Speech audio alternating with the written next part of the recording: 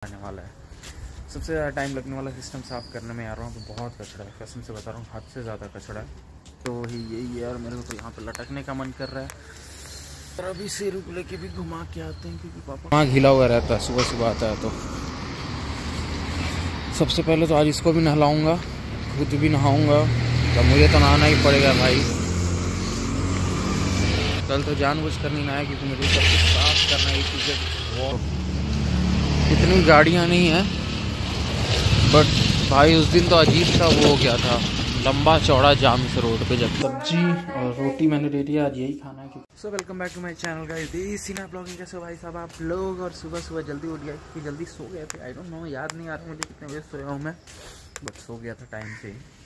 ठीक है और आज काम भी बहुत ज़्यादा मेरे पास बहुत ज़्यादा। आज आई गेस मम्मी के पास उतना काम नहीं होगा उससे ज़्यादा मेरे पास काम वॉशिंग से लेके सिस्टम साफ़ बाथरूम साफ़ बेसिन साफ़, सब करके मेरे को आज मतलब पूरा दिन नहीं तो भी अच्छा खासा टाइम लग जाने वाला है।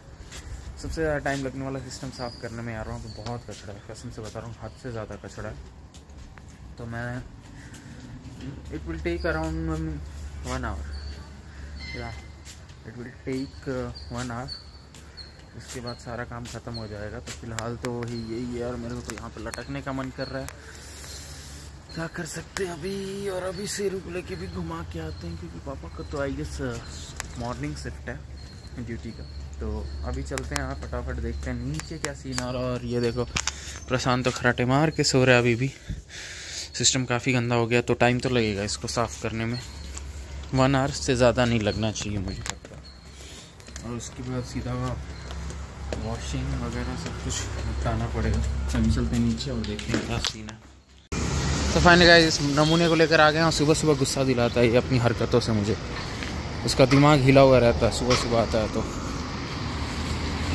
सबसे पहले तो आज इसको भी नहलाऊँगा, खुद भी नहाऊँगा। तो मुझे तो नहाना ही पड़ेगा भाई। कल तो जानबूझ कर नहीं नहाया क्योंकि मुझे फिर इधर ही उतरना था गंदगी। और अभी सब कुछ साफ़ करना है चीज़ें वॉश करना है। तो चलो, ठीक ही है मतलब फटाफट अभी चलेंगे और देखते हैं क्या सीन है। आई डोंट नो आपको मेरी वॉइस अच्छी आ रही है नहीं आ रही, क्योंकि नमूने ना, गाड़ी वाले, क्या बताएँ यहाँ पर ट्रैफ़िक हो जाता है, जाम लग जाता है। ये स्थिति है। ये देखो, इतनी गाड़ियाँ नहीं हैं बट भाई उस दिन तो अजीब सा वो हो गया था। लंबा चौड़ा जाम इस रोड पे, जबकि इस रोड पे जाम लगने का कोई चांस ही नहीं होता है। पता नहीं कैसे बट लग गया।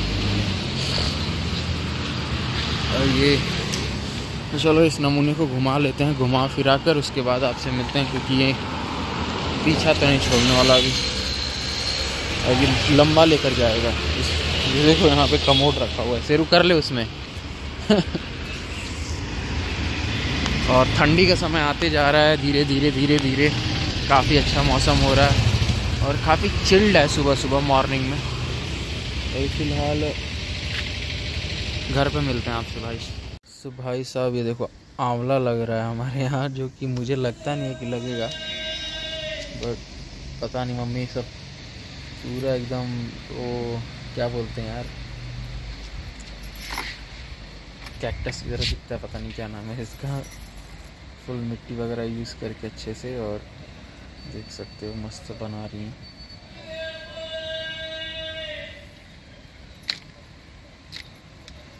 देखते हैं, लगता है कि क्या होता है।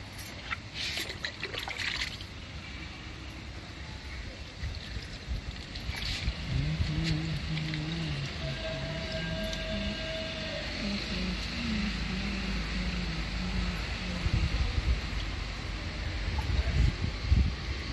पानी भी रख दिया हूँ, मस्त। चलो, करने देते हैं। सो गाइज़ आज मैं बनाने जा रहा हूँ बिना लहसुन, प्याज का आलू झोल और आलू कलर की सब्ज़ी, कह सकते हो आप। मतलब मिक्स ही समझ लो एक तरह से। तो मैंने आलू बॉईल कर दिया है और ये मैंने ले लिया है सारे खड़े मसाले, जो भी मेरे को लगेंगे।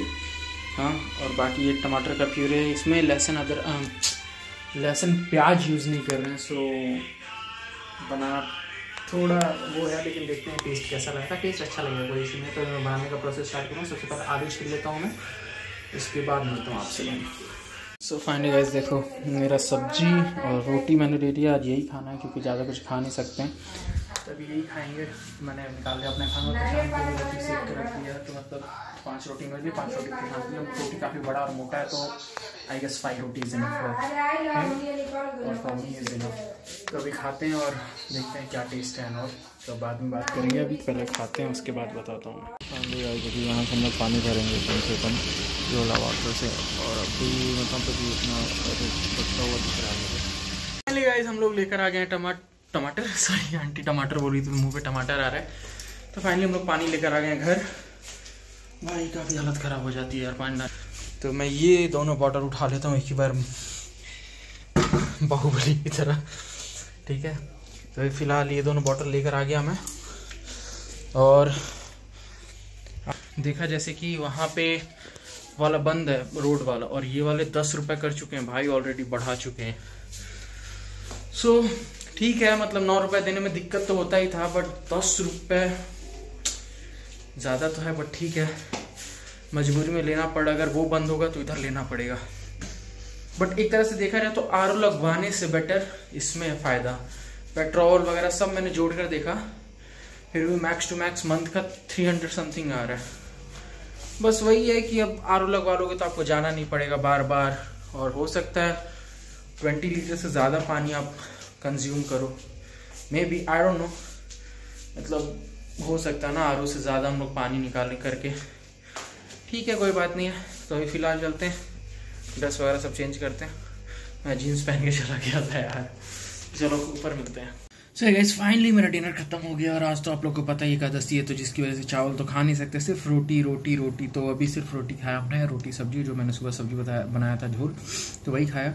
तो अभी आज का ब्लॉग करते हैं पेंट से do like and subscribe channel का नाम है देसी ना blogging Baba see tata good night.